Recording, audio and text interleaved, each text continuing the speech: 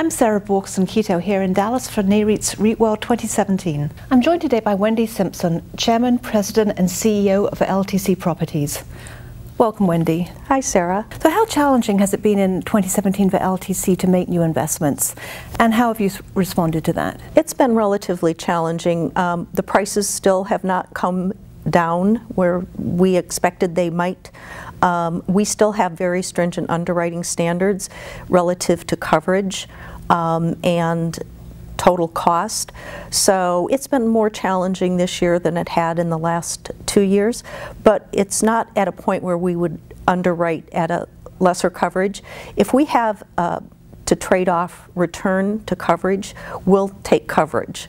So uh, we'll get a little less of a return for a better coverage. We also have determined that we really want to invest in the newer property, and we still are supportive of the local regional operator. So generally, those are smaller deals.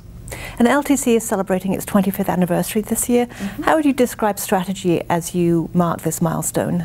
We are, um, again, as I said, doing the regional smaller operators.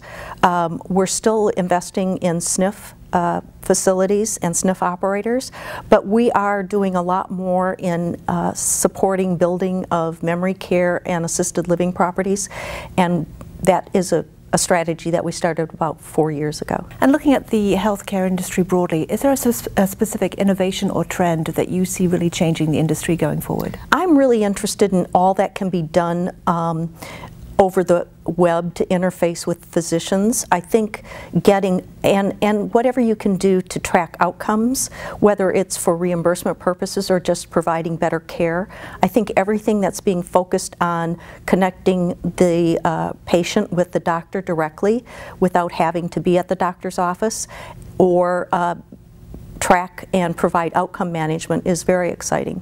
Great. Well, thank you very much, Wendy. Thank you. And for more news and information about REITworld 2017, be sure to visit REIT.com.